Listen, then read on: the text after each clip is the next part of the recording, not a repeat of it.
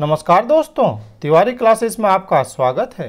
आज के इस वीडियो में हम लोग मीराबाई के एक प्रमुख पद, महागिरधर आंगा आंगा नानचारी इस पद को समझ लेंगे। इसका सप्रसंग व्याख्या को देख लेंगे। तो पहले ये पद को देख लेते हैं। महा गिरधर आंगा आंगा नाच्यारी नाच नाच महा रसिक रिझावा, प्रीत पुरातन जानचारी श्याम प्रीतिरी बान घुंगरिया मोहन महारो, सांचारी।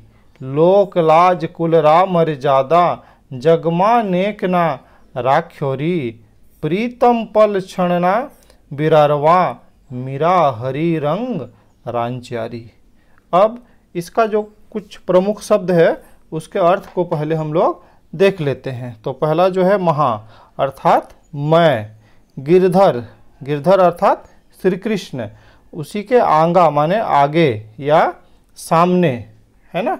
तो सामने क्या है? नानचारी नानचारी अर्थात क्या होता है? ये नाच शब्द का है ना? अर्थात क्या है? मैं श्री कृष्ण के आगे या फिर श्री कृष्ण के मूर्ति के आगे क्या है? मैं नाचती हूँ, है ना? नाच नाच, महा, अर्थात नाच नाच कर मैं रसिक रिझावा, अर्थात अपने रसिक श्री कृष्ण को रिझाती हूँ। प्रीत पुरातन जानचारी अर्थात हमारा जो पुराना प्रेम है, अर्थात जो जन्म जन्म का प्रेम है, उसको मैं क्या करती हूँ? जाँच ली हूँ। है ना? श्याम प्रीतिरी बाँध घुंगरिया अर्थात श्याम श्री कृष्ण को बोला जा रहा है, प्रीत अर्थात प्रेम। तो श्री कृष्ण के प्रेम में मैं घुंघरू बाँध कर मोहन महारो संचारी। तो मैं घुंघरू बांधकर श्री कृष्ण के मूर्ति के सामने नाचती हूँ, क्योंकि ये जो मोहन है, अर्थात श्री कृष्ण है, वही महारो माने मेरे का सच्चा मित है। लोकलाज कुलरा मर्यादा अर्थात ये लोक लाज हो गया या कुल की मर्यादा, कुल की मर्यादा का बात है, आप जानते हैं कि जो मीराबाई थे, वो क्या है राजघराने की थी ना? तो अपना कुल का मर्यादा भी होता है। तो ये कहती है कि लोक लाज हो या कुल का मर्यादा हो तो जग में नेक, माने एकमात्र, माने ये सबको कोई परवाह नहीं, एकमात्र जो है श्री कृष्ण है, उसी का क्या है, ध्यान वो रखती है।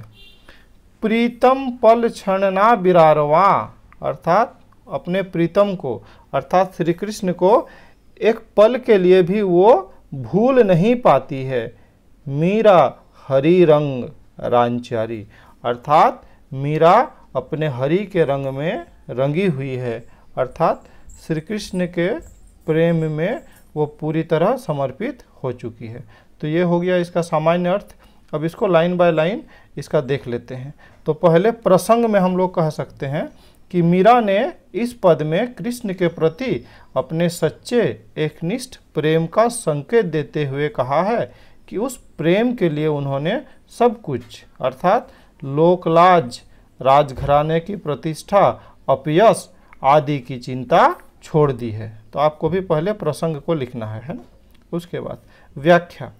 तो मीरा कहती है कि मैंने अपने प्रियतम श्री कृष्ण को रिझाने का संकल्प कर लिया है। मैं केवल उन्हीं से प्रेम करती हूँ।